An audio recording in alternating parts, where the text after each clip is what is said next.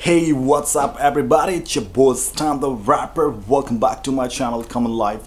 Long time guys, long time. I'm really, really sorry. I was really busy with my schedule, so I didn't get a chance to review the shoes. It's already a month, so don't worry. Today, I have a new kicks for you. It's the Alpha Ace 40 versions 2. Let's bang bang of the shoes, man.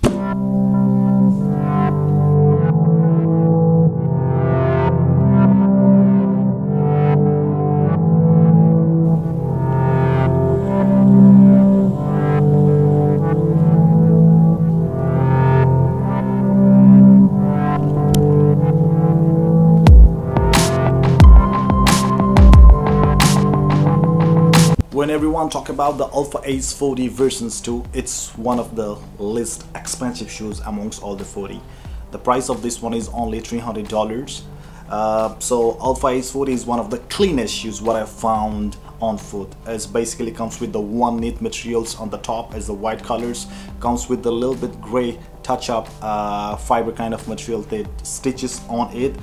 Uh, it's all French fiber what they use as a support at the side. And it's really beautiful shoes. It's basically the beautiful things about the shoes is the 4D sole unit.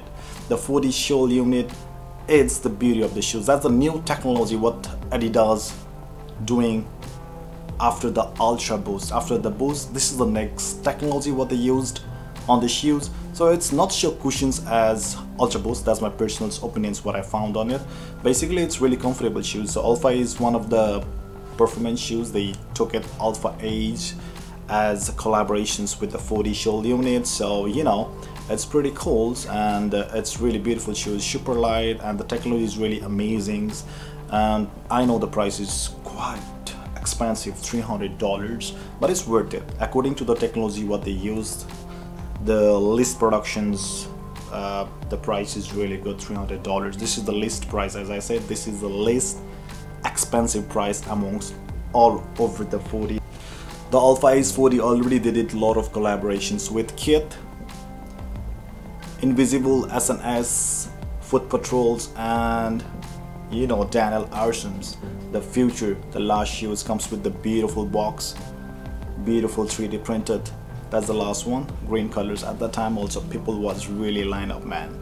It's amazing shoes you know alpha is one of the performance shoes it's really nice shoes. So in 2019 they have a lot of plans regarding the 4D what i heard. So basically they already released zx 4000 in three different colors. The first color was pretty cool amazing. Second color also pretty good. The third colors as i know the carbons super nice. Super super nice. Um, yeah let's see you know what's there going on? Everyone is doing a lot of things regarding the brands. Nike also doing a lot of things. At the same time Adidas also doing let's see bang bang what they will do you know? If you ask me about the size it's in my case I go with true to size but uh, a lot of the customers what they said it's kind of a snug on the upper so they are going half size up. It's your call but it depends upon the construction of your foot also so for me it's okay. Some like it's true to size it's your call if you want to go half size up but most of the people they are going half size up. Um, let's see what they will do and it's really amazing shoes. I know the price is really costly there is one thing man. I think you know it's really difficult to clean the 4D sole unit. How do we clean that shoes? I don't know. We will see. It's kind of a puzzling kind of stuff you know too much uh, going inside. I don't know how to clean the shoes but basically knit one is the easy maintenance you know.